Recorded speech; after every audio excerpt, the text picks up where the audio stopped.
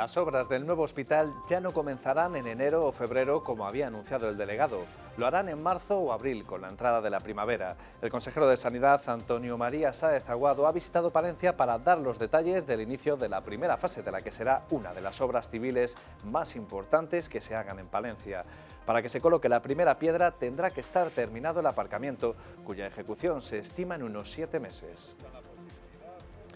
Muy buenas tardes. Hoy esta visita, con protestas incluidas, ahora lo van a ver, es nuestro argumento de portada. El consejero de Sanidad además ha mantenido sendos encuentros con las plataformas sanitarias de Guardo y Aguilar de Campo. Piden mejoras en la sanidad para la montaña palentina. En Guardo, una UBI móvil y un hospital comarcal. En Aguilar, más y mejores servicios, un convenio con el Hospital de Reynosa más eficaz y un mayor número de especialidades que les eviten desplazamientos. La consejería las ha escuchado.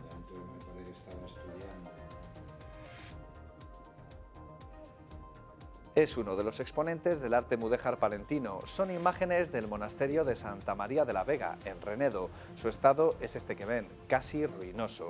En internet se recogen firmas para que se rehabilite. Hoy sirve como pajar y establo de ovejas.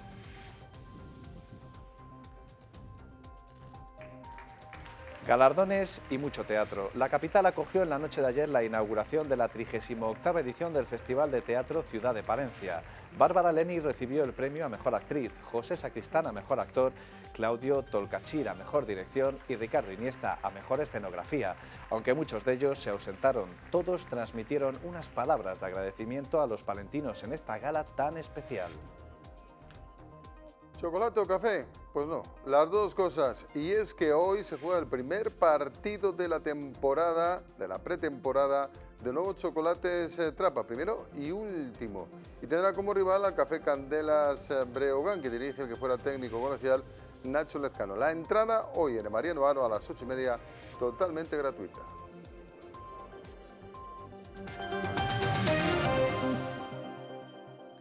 Visita del consejero de Sanidad a Palencia nos deja hoy varios titulares. Analizamos lo que ha dado de sí su intensa agenda en estas tierras.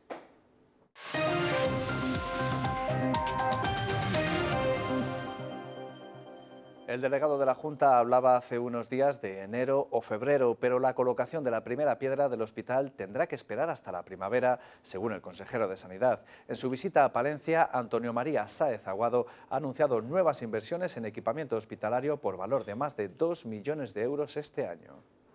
Habrá que esperar hasta la primavera para el comienzo de las obras del bloque técnico del nuevo hospital. Antes, en octubre o noviembre, comenzarán las del nuevo aparcamiento de pago que tendrá 721 plazas. Yo, como consejero de Sanidad, tengo que tomar una decisión. Si el presupuesto del que dispongo le destino a construir aparcamientos o a construir hospitales, contratar médicos o enfermeras. De las 11 ofertas presentadas para levantar el bloque técnico del nuevo hospital, la Consejería optó por la que consideró más adecuada según criterios objetivos y de calidad. Como las mejoras en calidad, eh, la eh, planificación de las obras y algunos otros, y otros criterios que son objetivos a través de fórmulas, como son el precio, el incremento de plazos de garantía, el, el incremento de los controles de calidad, etcétera. En los 40 meses que durarán estas obras, que superan los 36 millones de euros de presupuesto, la Consejería trabajará en la segunda fase para evitar impases en la construcción, pero la Junta también reforzará este año los equipos del actual hospital. Vamos a incorporar cuatro nuevos ecógrafos al hospital, al área de radiodiagnóstico, de urgencias, de neurología y de oftalmología. Vamos a adquirir un fluoroscopio, un ecocardiógrafo, un, ortopantomógrafo y un micrótomo para el servicio de anatomía patológica. Con la inversión de 2,3 millones de euros también se incorporarán un tomógrafo y dos mamógrafos que mejorarán las prestaciones de los actuales. El consejero de Sanidad, en su visita a Palencia, ha aprovechado para reunirse con varias plataformas, entre ellas la Prohospital de Guardo y Anhelo de Aguilar de Campo. La primera pide al consejero unos servicios mínimos de urgencia, la UBI móvil y un hospital comarcal. La aguilarense defiende el convenio con Tres Mares y una mejora de servicios como el de rehabilitación o el de pediatría es una reivindicación histórica en Guardo. Necesitan una UBI móvil y mejoras en los servicios de urgencias. Un hospital comarcal, todo el mundo se cree que es un río Carrión, que no. Es un centro de alta resolución, con 20 camitas, eh, los rayos, bueno, pues un poco lo mínimo, aunque ya sabemos que luego a lo más importante y a lo más grave tenemos que venir a Palencia, eso ya lo sabemos. Ver de qué manera podemos mejorar la atención urgente, que no necesariamente tiene que pasar por la implantación de un móvil. Ya disponemos de una en la zona norte. Donde sí se va a construir un nuevo centro de salud es en Aguilar de Campo. Cuando nos digan por qué va a estar avalado, qué es lo que vamos a tener y qué es lo que va a haber detrás para poder amueblar el edificio, me vale. Porque a mí lo de que el edificio sea bonito no me vale. La plataforma Anelo defiende la necesidad de cerrar el convenio con Tres Mares a pesar de las reticencias del consejero. Las especialidades de las que disponemos en Aguilar, en Cervera y en Guardo, en cada uno de estos tres centros, son eh, mayores que las que existen en el Hospital de Tres Mares. En ese hospital no solo hay consultas de especialidades médicas, realizamos intervenciones quirúrgicas, eh, cirugía siempre ambulatorias, de cirugía mayor ambulatoria, y tenemos eh, una planta de eh, internamiento convencional. Además, solicitan que se refuerce el servicio de rehabilitación para reducir las listas de espera que aseguran superan los seis meses. Piden también que se convoque al menos una plaza de enfermería para complementar el trabajo de la única pediatra que atiende a más de 900 niños en la localidad. Los que apenas han podido reunirse con el consejero son los integrantes de la Plataforma en Defensa de una Sanidad Pública de Palencia. Así han recibido a Antonio María Sáez Aguado con pancartas y protestas frente a la delegación de la Junta. Exigen que el nuevo parking que se va a habilitar no sea privado y que tenga un coste cero para los usuarios. Por lo demás denuncian una constante privatización de la sanidad y ponen como ejemplo el cada vez mayor número de pruebas diagnósticas que se derivan a clínicas privadas. Con respecto al presupuesto, piden más esfuerzos. Vemos cómo se está produciendo un paulatino deterioro de la sanidad pública, del SACIL en concreto, con sucesivos recortes, utilizando el pretexto del agujero de los bancos y todo el dinero, el ingente dinero que se tuvo que destinar ahí, venimos desde el año 2009 aproximadamente eh, sumando sucesivos recortes en el presupuesto sanitario con un acúmulo en los tres últimos años en concreto del orden de 403 millones. Después de los sanantolines más polémicos que se recuerdan, a las ocho y media de la tarde se reúne el Consejo de Fiestas y se espera que haya debate, quejas y propuestas. Los grupos de la oposición ya han preparado las suyas. Ciudadanos pedirá que en futuras ediciones el pregón popular sea al mediodía solicitará a las peñas más participación y que se traiga a Palencia un gran evento capaz de atraer a más gente de fuera. Ganemos volverá a pedir que no se utilicen los sanantolines de forma partidista, una mejor gestión del presupuesto y solicitará un informe técnico sobre el endeudamiento de los contratos por las supuestas irregularidades en la contratación de Palencia en negro. Las pruebas de la EBAU, la reformada prueba de acceso a la universidad, llegan hoy a su Ecuador. 110 estudiantes palentinos se examinan hasta mañana en esta segunda oportunidad para lograr la puntuación necesaria para poder realizar estudios universitarios. El escenario, como siempre, el campus de la Yutera. Los resultados se conocerán en cuestión de muy pocos días. Hay otros asuntos que hoy son noticia. Hacemos balance del número de bañistas durante el verano y les hablamos de alta velocidad. A continuación, junto con otras noticias, en nuestro capítulo de breves.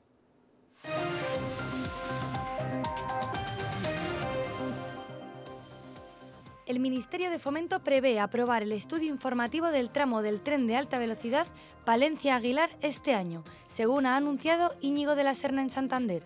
El ministro se ha referido al corredor Madrid-Santander, al primero de los tramos del tren de alta velocidad que está previsto que llegue a Reynosa, y ha destacado el impulso que está dando esta institución a las infraestructuras ferroviarias en Cantabria.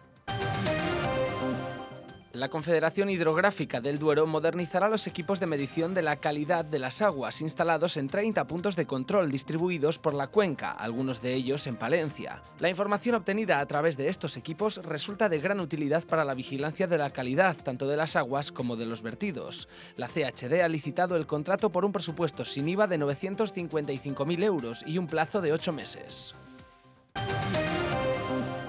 Las piscinas de verano cerraron el ejercicio con 88.236 bañistas, el tercer año con más afluencia del último lustro, pero por debajo de los resultados de 2016 y 2015. De nuevo, las piscinas del Sotillo fueron las más concurridas, seguidas de las del Monte el Viejo y San Telmo. El juzgado de Palencia condena a la gerencia de servicios sociales a informar a una trabajadora de la posible enfermedad a la que estuvo expuesta tras sufrir un accidente laboral de origen biológico con un usuario del centro. La trabajadora del CAMP, tras el accidente, solicitó información sobre la historia clínica del usuario y le fue denegada. Ahora el juzgado da la razón a esta trabajadora al afirmar que existe una causa justificada. Una campaña de recogida de firmas a través de una plataforma de Internet se ha puesto el objetivo de mantener en pie el monasterio de Santa María de la Vega, en Renedo. Tiene casi ocho siglos de historia en sus pilares, pero ahora se tambalea y apenas sirve como pajar y establo de ovejas. Era un magnífico ejemplo del estilo mudéjar palentino, pero del monasterio cisterciense de Santa María de la Vega, construido a principios del siglo XIII. Apenas quedan elementos reconocibles. Ha habido vecinos del pueblo que han asistido a misa aquí, o sea que no es de tantos años que, que ha, ha, sido una ruina. Este monasterio fue declarado Monumento Histórico Artístico en 1931. Sin embargo, hoy forma parte de la triste lista roja de monumentos en peligro. Es histórico nacional y al mismo tiempo pertenece a un privado. Y es ahí donde surgen las complicaciones a la hora de intentar mantenerlo en pie. Esto que será tema de cultura y de y los propietarios del monasterio. Pero dentro del ayuntamiento, ¿qué podemos hacer? Ahora, ¿tienen capacidad las instituciones en Castilla y León de mantener todo el patrimonio? Recientemente se ha puesto en marcha una campaña de recogida de firmas para tratar de salvar este monumento situado en Renedo de la Vega, que hoy sirve como pajar y establo de ovejas. Dar solución a esto es dificilísimo. Tú suponte el, el dinero que puede ser restaurar esto. De momento la campaña ha superado las 500 firmas y servido para que se vuelva a hablar de un monumento en ruina progresiva que muchos no quieren perder. Comienza el Festival de Teatro Ciudad de Palencia. En la noche de ayer tuvo lugar el acto inaugural en el que fueron galardonados varios artistas en las categorías de Mejor Actriz, Mejor Actor, Mejor Director y Mejor Escenografía. Galardones, palabras de agradecimiento y mucho amor por el teatro. Obras como La clausura del amor fueron premiadas en esta nueva edición del Festival de Teatro Ciudad de Palencia. Bárbara Leni recibió el galardón a Mejor Actriz y con Muñeca de Porcelana José Sacristán fue nombrado Mejor Actor, que aunque ambos se ausentaron, quisieron transmitir unas palabras de agradecimiento. Quiero sobre todo agradecer al público de Palencia por su acogida las veces que he venido a trabajar aquí y a Pilar Alcalde, directora del teatro, por su amor al teatro. Espero no tardar mucho en volver a pisar las tablas de este maravilloso teatro. Tierra de Fuego fue la obra por la que Claudio Tolcachir recibió ayer el premio a Mejor Director y Ricardo Iniesta a Mejor Escenografía por Marat Sad. De verdad que este Festival de Ciudad de Palencia, además la nómina de premiados da el nivel de calidad.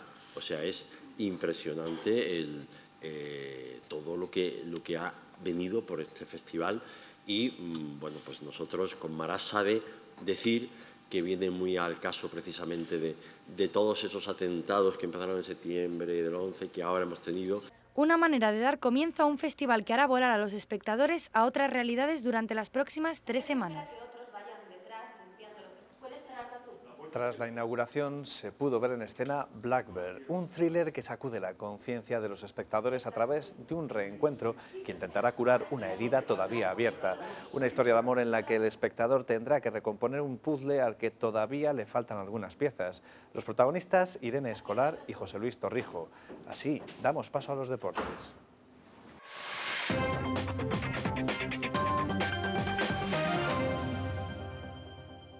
Buenas tardes, Alberto. Buenas tardes. Novedades deportivas para hoy. En concreto para esta tarde, porque hay partido, primer partido de ensayo de pretemporada, último también del Chocolate Strapa, la nueva denominación de Palencia Baloncesto, como rival al subcampeón liguero de la liga regular en la pasada temporada. El Café Candelas, Breogán de Lugo, que dirige el que fuera técnico colegial, Nacho Lezcano. Ocho y media, entrada por la cara. Al frente de la nave, un asturiano para comenzar una particular reconquista. Yo creo que los asturianos, en líneas generales, eh, somos muy asturianos cuando estamos fuera de casa, sí, sí. Soy asturiano de pura cepa. Joaquín Prado es un hombre de baloncesto. Si puedo hacerlo por algo es por trabajo, ¿no? Eh, tengo la, la, suerte de estar trabajando en, en aquello que, que, más me gusta en el mundo, en la vida, ¿no? Eso sí, lo intentó antes como jugador. Bueno, era entre malo y muy malo. Y tras muchos años como técnico en LEP y como entrenador ayudante en ACB, llega a Palencia. Así será el Chocolate Strapa. Somos un equipo en el que el esfuerzo, la intensidad, la agresividad eh, va a ser bandera y a partir de ahí vamos a ver lo que nos permite ese esfuerzo desarrollar nuestro talento. ¿no? Yo creo que a la gente al final le gusta más, le gusta que el equipo gane, pero le gusta mucho más que el equipo gane 95-90 que 55-50. ¿no? Un equipo con más surcos o teguis para competir en una liga con más dinero y calidad que en pasadas campañas. Una LEP muy LEP, muy igualada, donde puedes ganar a cualquiera, donde puedes perder con cualquiera. Eh, muy atractiva para el aficionado y muy dura para nosotros porque todos los partidos son competidos y no puedes dar por ganado absolutamente ninguno. Clubes, ya no solo los, los que suenan, ¿no? los Breogán, Melilla, Manresa, sino clubes como Castellón, como Palma, eh, como Oviedo, como Coruña, como Lleida. Y sobre la posibilidad real de alcanzar la ACB. Ver pelear por, por conseguir eso eh, es algo que, que, tiene que mover a la afición sí o sí y que mueve nuestros corazones desde el primer día de pretemporada. Por delante esta tarde la presentación del equipo ante su afición, en el Mariano Aro con entrada gratuita y ante el Café Escandelas de Nacho Lezcano. El Chocolate Strapa disputará su único partido amistoso como local de este año esta noche. Vamos con subvenciones, las que entrega la Diputación Provincial, las que ha entregado la Diputación Provincial a los uh, jóvenes valores de la provincia, no de la capital. En concreto, 18 han recibido subvención, en concreto 16.000 euros para todos ellos. Cinco gimnastas de rítmica, seis atletas y un representante de fútbol, piragüismo, motociclismo, voleibol, badminton, orientación y salvamento y socorrismo. Y de todos ellos, quien ha recibido más dinero ha sido Carla Gallardo, con 1.400 euros, no es para menos, porque la temporada de Carla ha sido excepcional, con medallas en los campeonatos de España, pista cubierta, campo a través, aire libre, y quinta en el Campeonato de Europa representando al equipo nacional español. Y acabamos con el capítulo polideportivo. Paco San Martín puso fin a la temporada con un meritorio quinto puesto en el Campeonato de España de Triatlón Paralímpico en la modalidad sprint dentro de su categoría TR4. Como un pequeño reto personal, tomará parte este sábado en otra modalidad deportiva, la carrera de montaña en el Trail Montaña Palentina. Precisamente en el norte de la provincia, concretamente en Triollo, tendrá lugar un acto de reconocimiento a tres montañeros palentinos que perecieron en el Curavacas en abril de 1957, Paulino de la Torre, Luis Ángel Puertas y Jesús Redondo. En su memoria se levantó tras su muerte una cruz y una placa que con el paso de los años han desaparecido. Tente Lagunilla y un grupo de amigos se han encargado de sustituirlas y el sábado tendrá lugar la reinauguración. Baloncesto Venta de Baños espera que la Federación Española de Baloncesto haga oficial hoy su regreso a la Liga EVA. Tras el anuncio de su denuncia defendiendo sus legítimos derechos, al igual que otros clubes, el ente federativo dio marcha atrás y decidió ampliar la categoría a 16 equipos, dando de plazo hasta hoy, hecho que ha realizado el cuadro rojillo. En las próximas horas puede haber noticias. Y además positivas. Pues nada más. Hasta mañana, compadre. Ojalá que así sea, Alberto. Hasta mañana. Será, será. Y les dejamos eh, con el parte meteorológico. Suben las temperaturas de cara a mañana en la provincia de Palencia.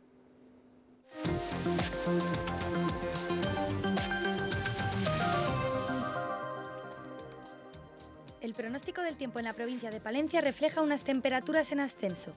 En la montaña palentina no se descartará algún banco de niebla matinal aislado en el norte. Las temperaturas máximas rozarán los 27 grados en Aguilar de Campo y las mínimas descenderán hasta los 8 en Brañosera. El cielo estará poco nuboso en las comarcas de La Vega, La Valdavia o el Boedo Ojeda. En este caso, los valores máximos aumentarán hasta alcanzar los 27 grados en Herrera de Pisuerga. Los mínimos rozarán los 9 grados en Buenavista. En la zona de Tierra de Campos la situación será similar. El mercurio podría llegar hasta los 28 grados en Cisneros o San Cebrián de Campos. Así ocurrirá también en el entorno de la laguna de la Nava, donde soplarán, como en el resto de la provincia, vientos variables flojos tendiendo a componente oeste. En la zona sur ocurre lo mismo. En cuanto a las mínimas, también ascenderán. Rozarán los 29 grados en algunas localidades como Ampudia. La comarca del Cerrato registrará máximas de hasta 29 grados en Venta de Baños o Torquemada y mínimas de 10 en Baltanás. Y también en la capital palentina, donde se alcanzarán temperaturas similares a las del resto de la provincia. El cielo permanecerá despejado durante toda la jornada de mañana. Las temperaturas serán de 28 grados de máxima y de 10 de mínima. Los próximos días traerán cielos cubiertos y las temperaturas descenderán. El jueves las máximas llegarán a los 19 grados y las mínimas a los 10. Cultura y arqueología se unen en un curso especializado en el mundo romano. Será gratuito y los adultos podrán aprender más sobre la Olmeda a las puertas de su cincuentenario. Un recorrido por la cultura romana desde 1968 hasta hoy de la mano de varios ponentes especializados en la materia. Se impartirá los días 26, 27 y 28 de septiembre. Si estás buscando un buen destino para disfrutar en familia o con amigos, acércate a la Cueva de los Franceses. Podrás disfrutar de su entorno y realizar una visita especial por sus galerías subterráneas en estos meses estivales. Para facilitar la visita a esta formación kárstica, la Diputación Provincial amplía su horario hasta finales de agosto y se podrá visitar todos los días de la semana. La obra del artista Alonso Berruguete repartida por toda España se recogerá hasta el 5 de noviembre en la iglesia de Santa Eulalia de Paredes de Nava. A propósito de una exposición cuenta la vida del escultor a través de una serie de piezas originales, fotografías y paneles informativos. Una manera de reflejar la importancia de la familia Berruguete en el arte y la historia del Renacimiento dentro y fuera de las fronteras nacionales. Con estas propuestas culturales ponemos el punto final a este informativo. Ya saben que las noticias vuelven a partir de las 9 de la mano de nuestro compañero Álvaro Lantada. Que pasen buena tarde.